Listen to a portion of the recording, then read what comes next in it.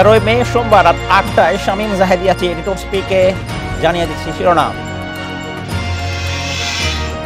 মৃত্যুদণ্ডের চূড়ান্ত সিদ্ধান্ত না হওয়া পর্যন্ত আসামিকে কন্ডেম সেলে রাখা যাবে না, হাইকোর্টের আদেশ।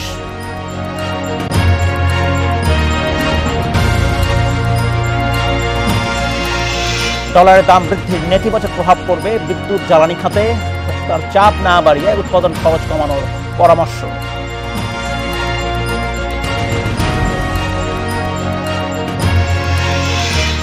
কাস্কিনের সুস্থ হতে সময় লাগবে তিন চার সপ্তাহ। অপেক্ষা করতে চায় বিসিবি। বিশ্বকাপের দল ঘোষণা আগামীকাল।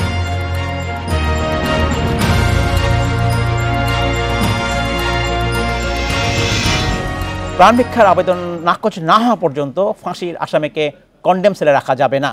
বিচারপতি শেখ হাসান আরিফ ও বিচারপতি বজলুর রহমানের হাইকোর্ট বেঞ্চ এ রায় দিয়েছে। এক রিটের প্রেক্ষিতে আদালত বলছে, প্রথমে ফাঁসির রায় দেওয়া হলেও পরবর্তীতে উচ্চ আদালতে সেটি বহাল নাও থাকতে পারে।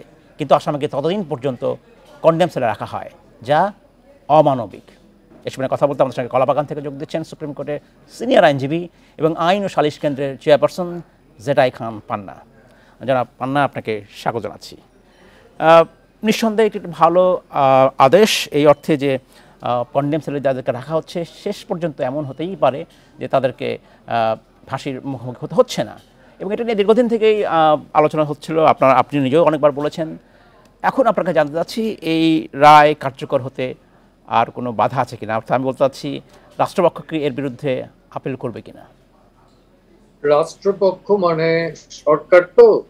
সরকার তো চালায় এখন আমলারা। আমলাদের মাথায় তো পাকিস্তানি ভূত। অর্থাৎ ঔপনিবেশিক চিন্তাধারাই আছে। ভারতে কিন্তু এটা পরিবর্তিত হয়ে গেছে। অনেকখানি। আর কন্ডেম সেলে রাখবে কেন? কন্ডেম মানে কি? কন্ডেম সেলে কেন রাখবে? নিশ্চয়ই নিশ্চয়ই। সে ফাঁসির আসামি হোক আর যে আসামি হোক সারা দুনিয়া থেকে ফাঁসির সিস্টেমটা চলে যাচ্ছে। কিছুদিন আগেও আমাদের এক অবসরপ্রাপ্ত আপিল বিভাগের বিচার বিচারপতি বিচারপতি কৃষ্ণ দেবনাথ কিন্তু বলেছেন যে একটা মামলার ইসে তিনি বলেছেন যে নিম্ন আদালতের একটা প্রবণতা দেখা গেছে গণহারে ফাঁসি দেয়া। এর ভেতরে যেন একটা আনন্দ। তো এটা ওনার ওনার অবজারভেশন ছিল এবং আসলেও তাই। আপনি দেখবেন যে প্রায় আড়াই হাজার উপর জি। আড়াই হাজার উপরে এই কন্ডেম সেলে আছে। এর ভেতরে অন্তত আপনি ধরে নেন যে দু হাজার লোক কিন্তু বেকসুর বেকসুর না হইলেও ফাঁসি হবে না। জি। বিভিন্ন কারণে। এবং কম হলে পরে এটার তো দশ থেকে পনেরো বছর লাগবে হিয়ারিং হতে তারপরে একটা লোকও যদি বেকসুর খালাস হয় তো তার জীবনে কি এই পনেরোটা বছর ফিরিয়ে দেওয়ার কোনো সুবিধা বা কোন রকমের সুযোগ আমাদের আছে? নাই। তো কেন রাখব? আর আমার কথা হলো যে এটা তো বঙ্গবন্ধুকে যারা জাতির পিতা মানে তারা অন্তত এই এটা যদি মানে মেনে থাকে তাহলে কিছুতেই এটার বিরুদ্ধে বিরোধিতা করবে না। কারণ একাত্তরে বঙ্গবন্ধুকে তো এই ফাঁসির ছেলেই রেখেছিল। জি। এবং তার ছেলের সামনেই কিন্তু কবর খনন করা হয়েছিল তো সেই বঙ্গবন্ধুর বাংলাদেশে এখনও কন্ডেম সেল রাখার জন্য সরকার লড়াই করবে এই ধরনের মানসিকতা আমি বলব যে বঙ্গবন্ধুর আদর্শ থেকে তারা বিচ্যুত। অনেক ধন্যবাদ যারা এখানে পান আরেকটি বিষয় আমি আপনাদের শাসন করছি। আজকের আদালতের রায়ের মধ্যে আরেকটি নির্দেশ দেওয়া হয়েছে সেটি হচ্ছে এখন যারা কন্ডেম সেলে আছেন তাদের দুই বছরের মধ্যে সরাতে হবে। কেন দুই বছর লাগবে সরাতে? এটা কি আর একটু আগে করা যেত না? এটা কেন বলেছে এটা আমি জানি না। দু বছর লাগে না। দু বছর লাগে না। এটা একটা সেল যে সেল থেকে সরানো বা একটা সাধারণ জায়গায় আনা এটা দু বছর লাগার কোনো বিষয় না। জি। জি। আরেকটি বিষয় আপনার দৃষ্টি আকর্ষণ করি যেহেতু এই বিষয়ে একই রকম প্রশ্ন সেটা হচ্ছে বলা হচ্ছিল যে এই নতুন যে রায় সেটি নতুন জেল কোডে এই রায়কে অন্তর্ভুক্ত করতে হবে। সেটা-। নিশ্চয়ই যদি সরকার আপিল না করেন তাহলে হয়তো হবে বা আপিল করার পর বা চূড়ান্ত সিদ্ধান্তের পরে হয়তো এই বিষয়টা যুক্ত হতে পারে। রাইট হতে পারে। জি। আরেকটা হলো যে আরও একটা আছে সেটা হলো যে আপিল হওয়ার পর তাকে জামিন দেওয়া যেতে পারে। সব আসামির বেলা যদি হয় এমনকি যাবজ্জীবন আসামির বেলাও তো ফাঁসির আসামিকে কেন জামিন দেওয়া যাবে না? ভারতে তো এটা আছে। ভারতে আছে। তা আমরা কেন পারব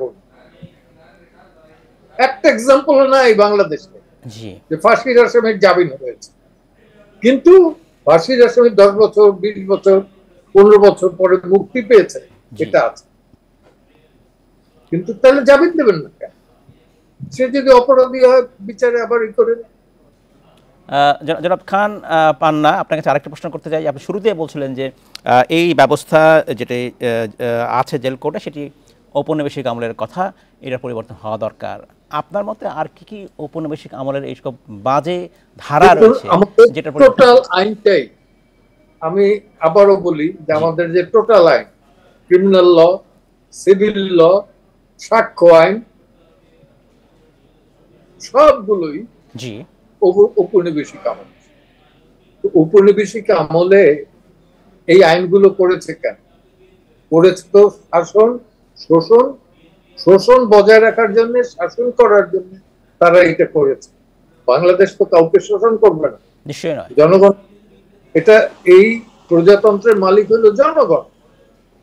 শোষণের তো প্রশ্ন এখানে নাই। শাসনেরও প্রশ্ন নাই।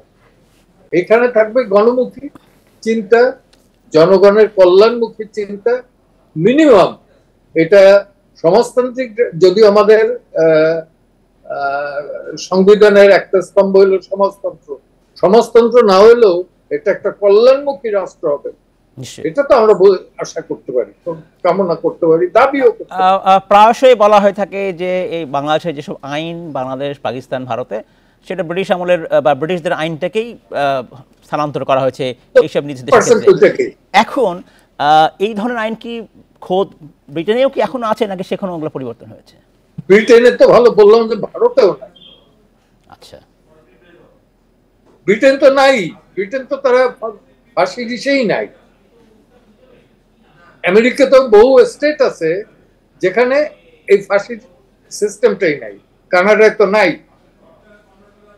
ইউরোপে বহু দেশে ফাঁসির এটা নাই পদ্ধতিটা নাই। এটা মান্দাত্তার আমলের একটা চিন্তা চেতনা যে একটা মানুষকে মেরে ফেলাবে তো মারার পরে তো সেটাই। দেখা যায় বিচার বা রায়ের উদ্দেশ্য যদি হয় মানুষ সংশোধন করুক তাহলে ফাঁসির আদেশ বা ফাঁসির ব্যবস্থা কেন এখনও বিদ্যমান? আপনিই বলছিলেন পৃথিবীর বহু দেশে ফাঁসির আদেশ উঠে যাচ্ছে ফাঁসির ব্যবস্থা উঠে যাচ্ছে। বাংলাদেশে বাধা কোথায় উঠে যেতে? বাংলাদেশে বাধা কোথায়? এই আমলাদের আমলাতান্ত্রিক এবং ঔপনিবেশিক চিন্তা। না শুধু আমলা আমলাতন্ত্রের দোষ দিলে হবে?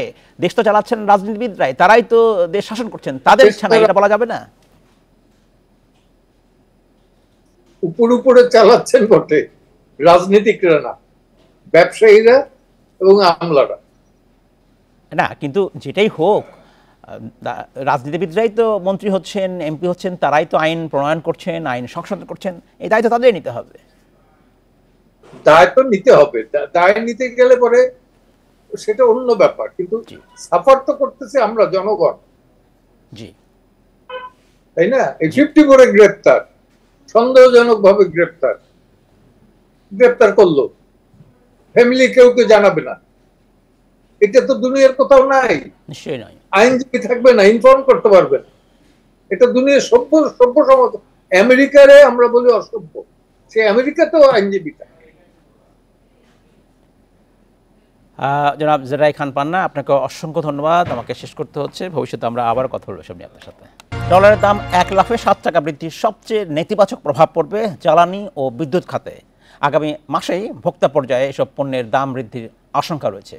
উচ্চমূল্যের বাজারে যা আরও ভয়াবহ করবে ব্যবসায়ীদের মত। বিশেষজ্ঞরা বলছেন, ভোক্তার উপর পুরো চাপ না দিয়ে বিদ্যুতের উৎপাদন খরচ কমানোর পথ খুঁজতে হবে। এসব নিয়ে কথা বলতে আমাদের সঙ্গে গুলশান থেকে যোগ দিচ্ছেন ইন্টারন্যাশনাল বিজনেস ফোরামের, ফোরাম অব বাংলাদেশের সভাপতি হুমায়ুন রশিদ। জনাব প্রসিদ আপনাকে স্বাগত জানাচ্ছি। আশা করছি আপনি ভালো আছেন। এই যে ডলারের দাম বৃদ্ধি, এটা একেবারেই অবসম্ভাবী ছিল কিনা? কারণ যখন ডলারের দাম এক ধরনের সরকার নিয়ন্ত্রণ করছিল সুদের হার নয় ছয় করা হলো তখন তো আপনারা একটু তাকে স্বাগত জানিয়েছিলেন। আমি যদি বুঝে থাকি আপনার কথা অনেক ধন্যবাদ আপনাকে। আপনার নয় ছয় ছিল কিন্তু একটা ডেভেলপমেন্টের জন্য স্টেজে কিন্তু আমাদের প্রয়োজন ছিল। এবং এই নয় ছয়ের এই সিদ্ধান্তটা আমাদের দেশে ইনভেস্টমেন্ট বাড়িয়েছে। আপনি যদি দেখেন আমাদের রপ্তানি বাড়িয়েছে আমরা পঞ্চাশ বিলিয়ন ডলারের কোটায় চলে আসছি। এই যে এই যে এই যে পজিটিভ দিকগুলা ছিল কিন্তু এখন যে সুদটা ধারণ করা হয়েছে জি। এই সুদটা কোনোভাবেই আমাদের প্রাইভেট সেক্টরকে ইনভেস্টমেন্টের জন্য এনকারেজ করবে না। না আপনার সাথে একমত সেই সময় বলছিলেন ভালো কিন্তু এখন তো সেটা আসলে খারাপ বা- বা অনেকটা বলতে পারেন যে ব্যাকফেয়ার করেছে। এই অর্থে কোভিড পরবর্তী সময়ে যখন বিশ্ব অর্থনীতি এক ধরনের ভালো দিকে দিকে যাচ্ছিল তখন কিন্তু আসলে বলতেই হয় যে ইউক্রেন এবং রাশিয়ার যুদ্ধতে এই সংকটটা তৈরি হয়। তখন পৃথিবীর সব দেশে কিন্তু সুদের হার বাড়িয়েছিল। বাংলাদেশ কিন্তু সেই পথে হাঁটেনি। তারই ফল কিনা এখন কিনা? আমার কাছে মনে হয় আপনি যদি দেখেন আমাদের কিন্তু অনেকগুলো স্ট্রাগল টাইম গিয়েছে। কোভিড কোভিড এর পরবর্তীতে আমাদের গ্লোবাল সাপ্লাই চেনে কিন্তু একটা বিরাট ইন্টারাকশন ছিল।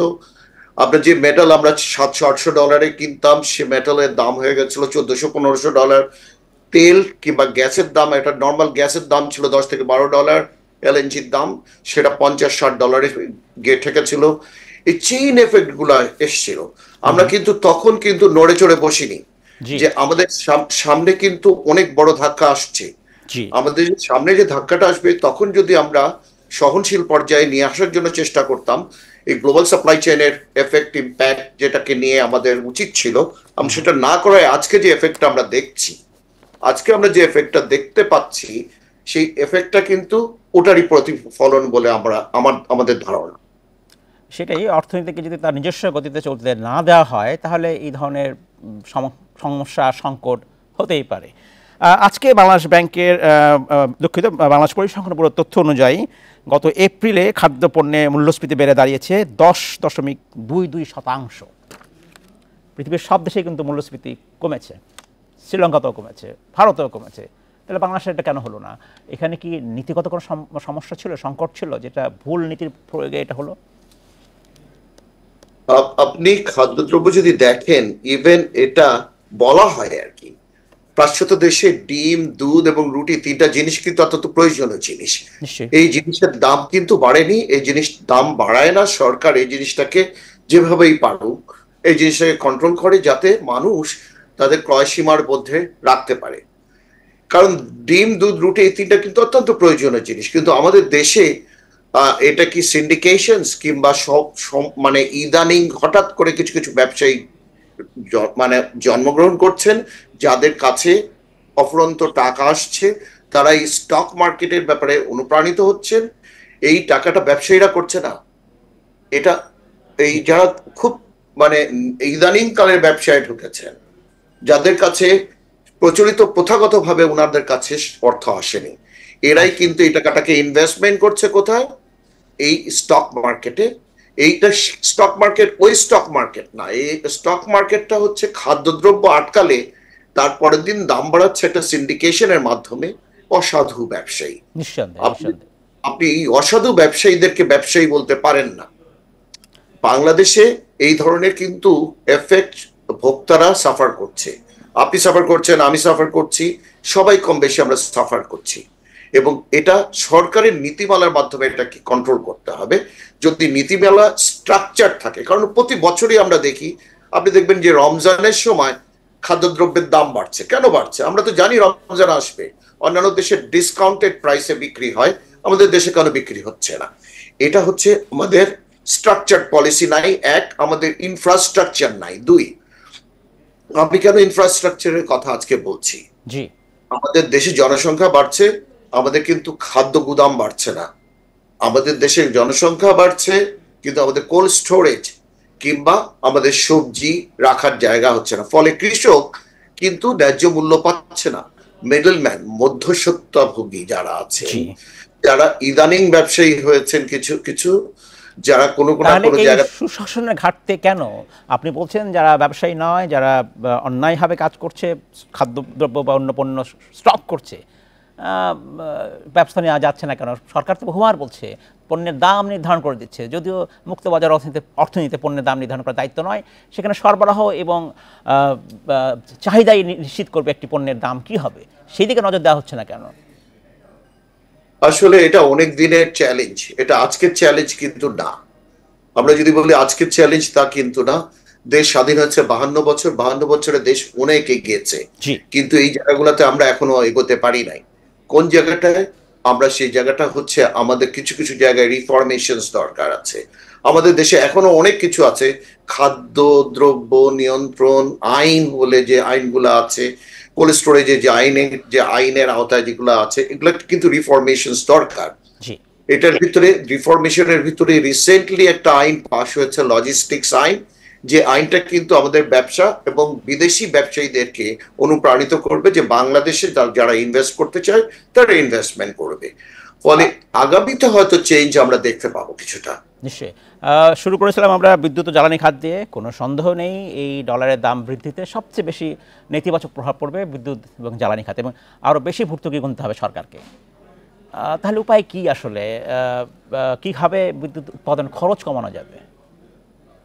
এটা আসলে একটা বড় বড়ার উপরে খাড়ার ঘা। এমনিতেই আমাদের কাছে ডলার সংকট রয়ে গেছে। আমরা যে গ্যাস কিনেছি সেই গ্যাসের মূল্য পরিশোধ করতে হবে। আমরা যে জ্বালানি কিনেছি কোল কিনেছি এগুলো সবগুলোর পয়সা পরিশোধ করতে হবে। সরকার এখন সময় মাফিক পরিশোধ করতে পারছেন না। আপনি জানেন যে forty two forty three percent IPP company থেকে আমরা বিদ্যুৎ কিনি। এরা হচ্ছে তরল জ্বালানি দিয়ে বা- বাংলাদেশে বিদ্যুৎ উৎপাদন করেন এবং তারা বিক্রি করেন। তারা কিন্তু এখন ব্যাংকে পেমেন্ট করতে পারছে না। এটা চেইন এফেক্ট আসছে। আজকে আপনি গত ধরেন সরকার দিয়েছে দশ হাজার কোটি টাকা ভর্তুকি এই দফায়। এই দশ হাজার কোটি টাকাতে আমরা হয়তো এই দশ মিলিয়ন ডলার আমরা পেমেন্ট করতে পারতাম। আমি কথার পর কথা বলি। আজকে আমি নয় মিলিয়ন ডলার পেমেন্ট করতে পারবে। ভর্তুকির পরিমাণ ক্রমান্বয়ে কিন্তু আরও বেড়ে যাবে। এই যে ছয় শতাংশ সাড়ে ছয় শতাংশ যে দাম যে কারেন্সি ফ্ল্যাকচুয়েশনস এর এফেক্ট কারণ আপনার এই কোম্পানিগুলা তারা কিন্তু পেমেন্ট করছে ডলারে জি। পিডিবি কে পেমেন্ট করতে পিডিবি বিক্রি করছে টাকায় এবং তাকে পেমেন্ট করতে হবে কিন্তু ডলারে এইসব জ্বালানি সরবরাহকারীদেরকে। বলে একটা বিরাট ইম্প্যাক্ট আসবে। এখন সেভিং করতে হবে কতখানি ব্যালেন্সিং কতটুকু করতে হবে এটা পলিসি মেকারদের দায়িত্ব। নিশ্চয়ই আমরা সেটাই আশা করব। পলিসি মেকাররা নীতি নির্ধারকরা সে বিষয়ে নজর দেবেন। অনেক ধন্যবাদ জনাব হুমায়ুন রশিদ আমাদেরকে আপনার মূল্যবান সময় দেওয়ার জন্য। দ্বিতীয় ধাপের উপজেলা পরিষদ নির্বাচনে প্রতীক বরাদ্দ দেওয়া হয়েছে। সোমবার সকাল থেকে একশো এগারোটি উপজেলায় প্রতীক বরাদ্দ দেন রিটার্নিং কর্মকর্তারা। বরাদ্দ পেয়ে কোনো কোনো প্রার্থী জনসংযোগ করেন। তৃতীয় ধাপে বিনা প্রতিদ্বন্দ্বিতায় নির্বাচিত হয়েছেন ছয় প্রার্থী। এ সামনে আরও জানাতে যশোর এবং কুমিল্লা থেকে আমাদের সঙ্গে যোগ দিচ্ছেন সহকর্মী জিয়াউল হক এবং তানভীর খন্দকার। প্রথমে তানভীর খন্দকার কাছে যেতে চাই। তানভীর আপনার কাছে জানতে চাই। আহ, এবারের নির্বাচনে বলা হচ্ছিল যে আওয়ামী লীগের যারা এমপি মন্ত্রী আছেন তাদের স্বজনরা যেন অংশ না নেন এবং এই বিষয়ে দলের পক্ষ থেকে বারবার বলা হয়েছে নির্দেশনা দেওয়া হয়েছে। এবারের এই নির্বাচনে কুমিল্লার এমন পরিস্থিতিতে কেউ আছেন কিনা? কোনো এমপি মন্ত্রী স্বজনরা ভোটে দাঁড়িয়েছেন কিনা? কুমিল্লাতে যে নির্বাচনগুলো অনুষ্ঠিত হচ্ছে, যেমন দ্বিতীয় ধাপেও আমরা দেখেছি যে সেখানেও কিন্তু এমপির স্বজন, যেমন কুমিল্লা সদর দক্ষিণ উপজেলায় সাবেক অর্থমন্ত্রী, বর্তমান সংসদ সদস্য আহম মুস্তাফা কামালের ভাই গোলাম সারোয়ার, তিনি কিন্তু প্রতিদ্বন্দ্বিতা করছেন। অন্যদিকে কিন্তু বরুড়া উপজেলাতে আমরা জেনেছি যে মোহাম্মদ আব্দুল লতিফ ভুইয়া কামাল, তিনি একজন প্রভাবশালী মন্ত্রীর নিকটাত্মীয় তারা কিন্তু নির্বাচন করছেন। অপরদিকে তৃতীয় ধাপে আজকে যাদের প্রতীক দেওয়া হলো, সেখানেও কিন্তু আমরা দেখেছি যে সংসদ সদস্যদের পুত্র, যেমন মুরাদনগর উপজেলায় বর্তমান সংসদ সদস্য জাহাঙ্গীর আলম ভুইয়া তার ছেলে আহ, আহসানুল আলম কিশোর। তিনি কিন্তু আজকে প্রতীক নিয়েছেন। তিনি বর্তমান চেয়ারম্যান এবং আবার তিনি প্রতিদ্বন্দ্বিতা করার জন্য কিন্তু আজকে প্রতীক পেয়েছেন। অন্যদিকে ব্রাহ্মণপাড়া যে উপজেলা সেই উপজেলা থেকে বর্তমান সংসদ সদস্য আবু জাহের তার ভাতিজা অর্থাৎ তার বড় ভাইয়ের ছেলে দক্ষিণ জেলা ছাত্রলীগের সাবেক সভাপতি আবু তৈয়ব অপি তিনিও কিন্তু নির্বাচন করছেন। তো তারা কিন্তু আজকে প্রতীক নিয়েছেন এবং প্রতীক নিয়ে কিন্তু তারা আমরা দেখেছি যে মাঠে নিয়ে নেমে গেছেন প্রচার প্রচারণা করতে। অর্থাৎ দ্বিতীয় এবং তৃতীয় প্রত্যেকটি ধাপে কিন্তু আমরা চারটি উপজেলাতে দেখছি যে প্রার্থীরা যারা আছেন তারা কিন্তু স্থানীয় সংসদ সদস্য যারা আছেন তাদের নিকটাত্মীয়। তবে এই বিষয়গুলো নিয়ে কিন্তু নির্বাচন নেতারা আপনাদেরকে কিছু বলেছেন কিনা তাদেরকে আহ্বান জানিয়েছেন কিনা? আমরা যতদূর জানি যে আহ, সাংগঠনিক সম্পাদকরা এর আগে এই আহ্বান জানিয়েছিলেন। এরপরও জেলা পর্যায়ের নেতারা কোনো দায়িত্ব নিচ্ছেন কিনা? আসলে আমরা জেলা পর্যায়ের নেতৃবৃন্দের এই বিষয়ে কোনো দায়িত্ব নিতে এখনও পর্যন্ত শুনিনি কিংবা তারা দায়িত্ব নিয়েছেন বলে কিন্তু আমরা জানিও নি তবে আমরা প্রার্থীদের কাছে জানতে চেয়েছিলাম যে যেহেতু একটি নির্দেশনা রয়েছে যে আত্মীয় স্বজনরা আসলে নির্বাচন করতে পারবেন না, তবে তারা যে বলছেন স্থানীয় সরকার নির্বাচন যেহেতু প্রতীক হচ্ছে না, সবাই অংশগ্রহণ করতে পারবে এবং তারা দীর্ঘদিন এই রাজনীতির সাথে সম্পৃক্ত তারা জনপ্রতিনিধিত্বে আসতে চায়। সে কারণেই মূলত তারা তারা এসেছেন। তবে নির্বাচন সুষ্ঠু হবে প্রত্যাশা রেখে তারা বলছেন যে আসলে সেখানে সংসদ সদস্যরা কোনো ধরনের প্রভাব বিস্তার করবে না। সাধারণ মানুষ ভোট দিলেই তারা নির্বাচিত অনেক এবং মানুষের। আমি আমাদের আরেকজন সহকর্মী জিয়াউল হকের কাছে যেতে চাই যিনি আছেন যশোরে। আহ, জনাব জিয়াউল হক যশোরের কি অবস্থা? সেখানে কি মন্ত্রী এমপিদের স্বজনরা আছেন কিনা আর আর এছাড়া নির্বাচনের পরিবেশ কেমন সেখানে এখন? পর্যন্ত তৃতীয় ধাপের আমরা আজকে বরাদ্দ হলো। যতটুকু জানতে পেরেছি যে আমাদের যশোরে এখনও পর্যন্ত আসলে এমপি বা মন্ত্রী আছেন এমন কারও আত্মীয় স্বজন আসলে নির্বাচন করছেন না। কিন্তু এখানে যে জিনিসটি আমরা দেখছি আহ, গত প্রথম ধাপে যে নির্বাচনটি হয়ে গেল আহ, যশোরের মনিরামপুর এবং সেখানে কিন্তু আমরা দেখেছি যে আওয়ামী লীগের যারা দলীয় লোক আছেন এবং পদে আছেন তাদের ভিতরে কিন্তু প্রতিদ্বন্দ্বিতা হচ্ছে। এবং দ্বিতীয় এবং তৃতীয় ধাপের ক্ষেত্রে যারা নমিনেশন পেপার এখনও পর্যন্ত কিনেছেন তাদের ক্ষেত্রে কিন্তু আমরা একই অবস্থায় দেখছি। অর্থাৎ আওয়ামী লীগের ভিতরে কিন্তু সীমাবদ্ধ থাকছে আমি যদি একটু গত প্রথম নির্বাচনের বিষয়ে ফিরে দেখতে সেখানে আমরা দেখেছি যে যশোরের মনিরামপুরে সেখানে চৌত্রিশ দশমিক চার এক ভোট কাস্টিং হয়েছে। এবং আহ, কোডের ক্ষেত্রে সেটি হচ্ছে আঠাশ দশমিক এক শূন্য। এই যে জায়গাটি আসলে মানুষের ভেতরে এখনও পর্যন্ত আমরা দেখছি যে উৎসাহ উদ্দীপনার যে বিষয়টি ছিল উপজেলা ঘিরে যশোরে এখনও পর্যন্ত কিন্তু তেমনটি দেখা যায়নি।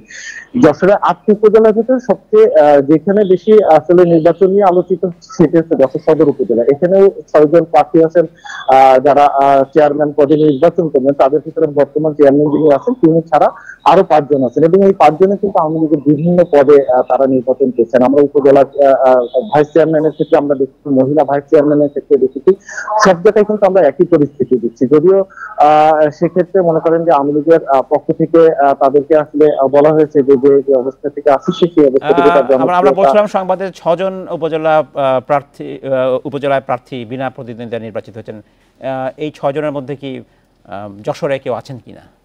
যেসব এলাকায় ভোট হচ্ছে। আহ,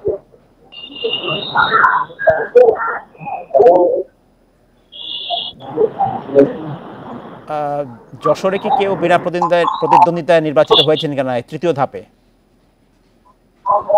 বিনা প্রতিদ্বন্দ্বিতা বিষয়টি আসলে এখনও পর্যন্ত যশোরে সেভাবে আসেনি। প্রতিটা ক্ষেত্রে আমরা দেখেছি অর্থাৎ চেয়ারম্যান পদে ভাইস চেয়ারম্যান মহিলা ভাইস চেয়ারম্যান কিছু পদে কিন্তু আমরা দেখছি যে একাধিক প্রার্থী আছে। শুধুমাত্র অভয়নগরে ভাইস চেয়ারম্যানের সেক্ষেত্রে সেখানে একটি সম্ভাবনা ছিল যে সেখান থেকে ভাইস চেয়ারম্যান পদে অন্য কেউ দাঁড়াবে না সেটিও কিন্তু আমরা শেষ মুহূর্তে দেখেছি যে আহ, সেটি কিন্তু আসলে ফিল আপ হয়ে গেছে। অর্থাৎ যশোরে এখনও পর্যন্ত প্রতিটি পদে অর্থাৎ তৃতীয় ধাপ পর্যন্ত আমরা আজকে যে প্রতীক বরাদ্দ হলো সেক্ষেত্রে আমরা এখনও অনেক অনেক ধন্যবাদ। জিয়াউল হক, অনেক ধন্যবাদ তানভীর খন্দকার। সবকিছু পর্যালোচনার পর তাসকিনকে রেখেই বিশ্বকাপ স্কোয়াড দিতে চায় বোর্ড এ বিষয়ে আলোচনা করতে আগারগা থেকে আমাদের সঙ্গে যোগ দিচ্ছেন সাবেক ক্রিকেটার তুষার ইমরান। জনাব ইমরান, আপনাকে স্বাগত জানাচ্ছি। বলা হচ্ছিল যে তাসকিনের ইঞ্জুরির কারণে বাংলাদেশ দলের ঘোষণা একটু পিছনা পিছানো হয়েছে। আপনি এটাকে কীভাবে দেখেন? এবং বলা হচ্ছে যে তাসকিন সেরে উঠতে তার লাগবে তিন থেকে চার সপ্তাহের মতো। এই সিদ্ধান্ত ঠিক হচ্ছে কিনা? আসলে ইনজুরিতে পড়ছে তাসকিন। ভেরি ডিফিকাল্ট আসলে এখন ওয়ার্ল্ড কাপের স্কোয়াড ওকে রেখে ডিক্লেয়ার করা। সো এই ক্ষেত্রে আমার কাছে মনে হয় যে না বিকল্প একজন পেস বলার নিয়ে মানে যেতে হবে। তাই বাস্তবতা। আর এটাকে মেনে নিতে হবে। আমার কাছে যেটা মনে হয়েছে ফোর্থ টি টোয়েন্টিটা না খেলালেও পারতো তাসকিনকে।